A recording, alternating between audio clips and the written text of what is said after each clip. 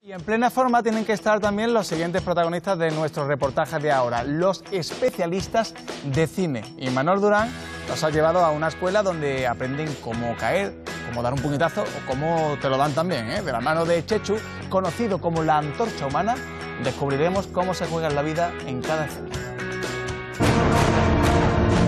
Peleas, explosiones, atropellos son las escenas más espectaculares de las películas de acción. Detrás de ellas, especialistas de cine que se juegan la vida. Entramos en la escuela que lleva 20 años formando y enseñando a los futuros especialistas. Hola, Chechu. Hey, hola. Especialista de cine, ¿quiénes Ah. son ellos? Son alumnos de la promoción del curso de este año, 2017-2018. Están aprendiendo a saber caerse las típicas escenas de peleas. Eso es, es decir, este es el calentamiento donde estamos incorporando, aparte de movimientos, todo tipo de caídas.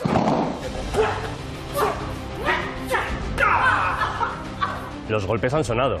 Sí, sí, sí. Sí, suenan, sí. Hay contacto en los, en los golpes que hacemos, pero hay técnicas para que no sea, no sea lesivo. Y un efecto que tiene que causar una reacción, en este caso. en- La reacción es lo más importante en esto. Podemos ver un puñetazo. Sí.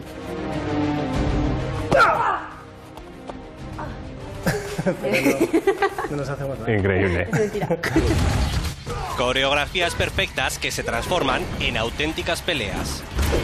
Ahora estamos practicando la caída de frente, que es la que solemos usar para cuando hacemos una, una reacción a una explosión.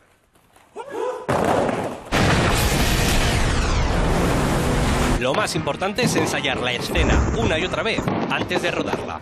Nosotros solo vemos unos segundos, pero detrás de esos segundos hay muchísimo. trabajo. Muchísimos meses de trabajo y mucho entrenamiento. Es que duele solo de verlo. Exactamente, esa es la idea, que duela. Las caídas a varios metros de altura son las más complicadas de controlar.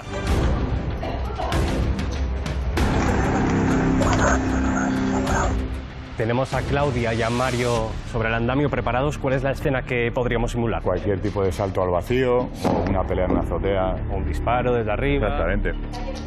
Y no solo tienen que saber caer, también interpretar al actor o actriz mientras caen. Vamos a hacer una acción eh, que en un rodaje pues sería una persona envuelta en llamas. Chechu es conocido como la antorcha humana. Ha desarrollado un combustible exclusivo con el que se quema a lo bonzo. Lo ha hecho más de 400 veces y solo protegido por un gel helado.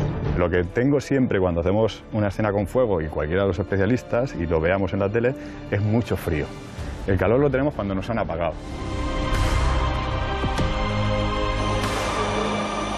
Yo pongo el cronómetro a ver cuánto tiempo aguantas. A ver cuánto basta. Miedo me da.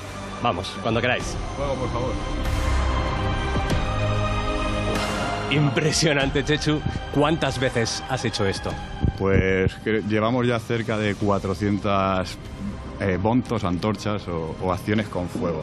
El peligro es ahora mismo que el fuego está vivo y depende de las corrientes o los movimientos, no puedes controlar lo que puede hacer. ¿A cuánta temperatura pueden llegar las llamas? Pues a 800 grados ahora mismo. Yo creo que tendríamos que apagar porque estamos acumulando demasiado calor. Apagamos. Tras 58 eternos segundos, apagan a Chechu. Una escena así se paga entre 900 y 10.000 euros. Te acabas de jugar la vida delante de nosotros. ¿Está bien pagado esto? Eh, no, claro, tú valora lo que cuesta tu vida y, y piensa, ¿no? Lo que tendrían que pagar. Solo unos pocos podrán vivir de esto, una profesión de alto riesgo. Se ponen en peligro por amor al séptimo arte.